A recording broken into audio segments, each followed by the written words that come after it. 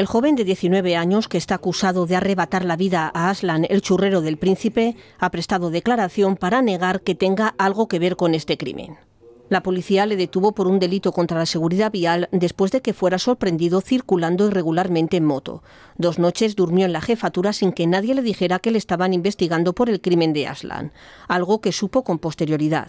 En su manifestación ha negado que tuviera algo que ver con la muerte de Aslan, con quien decía que se llevaba muy bien.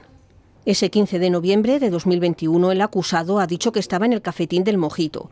Allí escuchó varios disparos y al ver a niños chicos corriendo diciendo encapuchados, encapuchados, él también se fue a su casa. Allí se quedaría con su madre, a la que no ha traído al juicio para declarar en su favor, ya que ha dicho que se encontraba en malas condiciones. El joven ha negado las acusaciones de los testigos protegidos que le incriminan en este suceso. El abogado de la acusación particular y la Fiscalía solicitan que se le imponga 25 años de prisión por el delito de asesinato. Su defensa ha solicitado que sea absuelto.